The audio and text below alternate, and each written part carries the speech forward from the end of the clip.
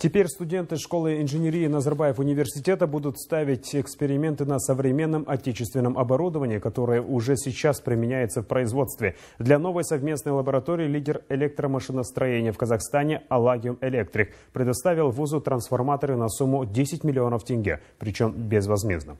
О налаженном сотрудничестве между наукой и производством, а также взращивании кадров расскажет Мирвер Джакьянова.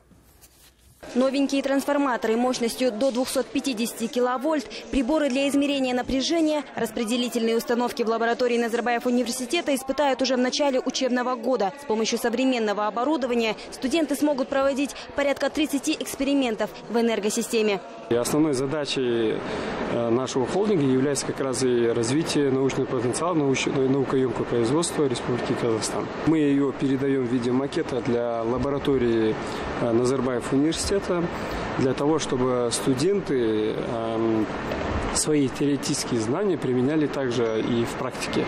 Представленная продукция группы компаний «Аллагиум Электрик», куда входит более 30 крупных производителей в сфере электроэнергетики, машиностроения и строительства, только недавно сошла с конвейера Кентавского трансформаторного завода. Сегодня это предприятие производит оборудование для различных отраслей экономики по всему СНГ. Современные трансформаторы на экспериментальной площадке помогут выпускникам университета быть современной техникой на «ты».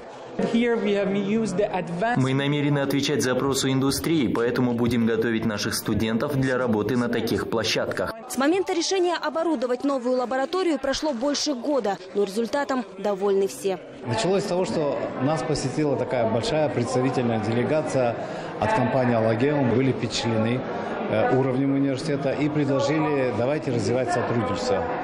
Мы а, живо откликнулись на это и решили организовать визит наших профессоров на производственные площадки этой компании. По словам руководства холдинга, это только первые шаги по сотрудничеству с крупными университетами страны. В планах у группы компании «Аллагеум Электрик» расширение производства, а значит и открытие новых рабочих мест.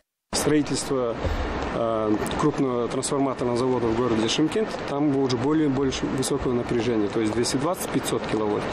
Соответственно, на, на данное производство необходимы новые Э, подход, новые э, современные технологии оборудования.